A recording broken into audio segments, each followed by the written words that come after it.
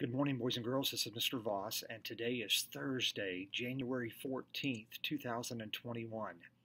Here are the instructions for today's social studies module that can be found in my reading course page in Canvas. Today and tomorrow, we will be starting Unit 4, Chapter 9 of Social Studies and this is now going to be the post era after the American Revolution, but it still has some things to do with the American Revolutionary War that we read in chapter 8. So, what you're going to do today is you're going to read lesson 1, and I believe it's called Declaring Independence. And if you need to take notes on this lesson, that is fine.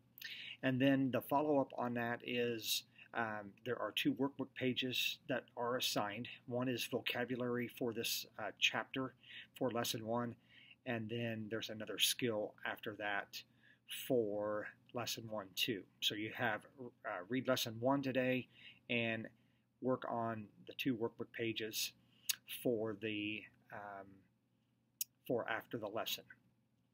Then after the social studies part of this reading module, um, you will work on the vocabulary word wisdom lesson.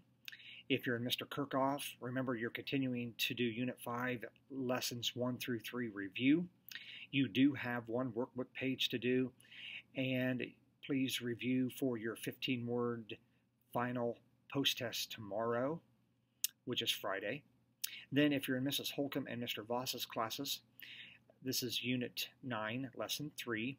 There are no workbook pages, but please make sure you have the workbook pages that were assigned earlier this week completed.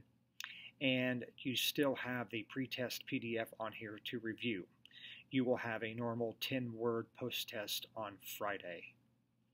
After the word wisdom lesson, then you will do the daily Moby Max lesson.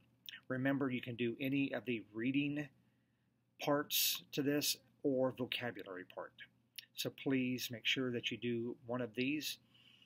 Then after the MobyMax lesson, you will work on your daily reading log for this week. Remember to make sure that you are filling in how much time you have read each day, answering one question, whether it's fiction or nonfiction, and your uh, your answer should be at least three to four, even longer than that.